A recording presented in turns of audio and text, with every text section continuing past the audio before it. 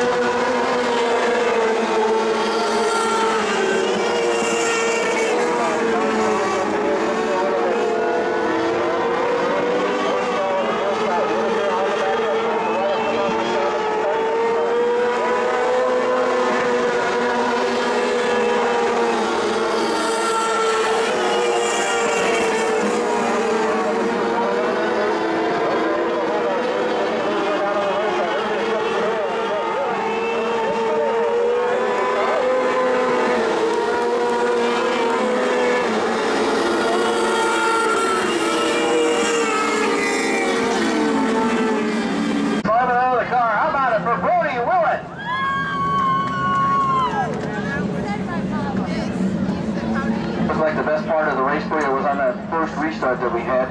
A couple of cars didn't come up to speed, and that's when you were able to get a good run going on the turn one and instantly you're in that second spot.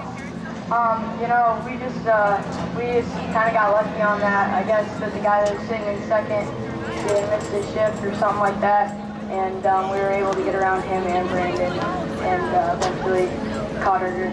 Um, really got to thank the crew and everybody else that came out tonight. Um, Macaroni Kid, uh, all that they do for us on a uh, monthly basis, just incredible to us. Planet X, um, Cam with all of our social media, uh, Local Vizion, um, Chad doing all the videos on a weekly basis, uh, Rising Star Management, Kurt, um, Sammy, and uh, my family and all the fans that come out. Ladies and gentlemen, one more time, let's give it up for Brody Willett. Things up for us here tonight at the Independence Motor Speedway. Again, gates open at 6 or 4:30, and hot laps will be at 6:30 later next Saturday.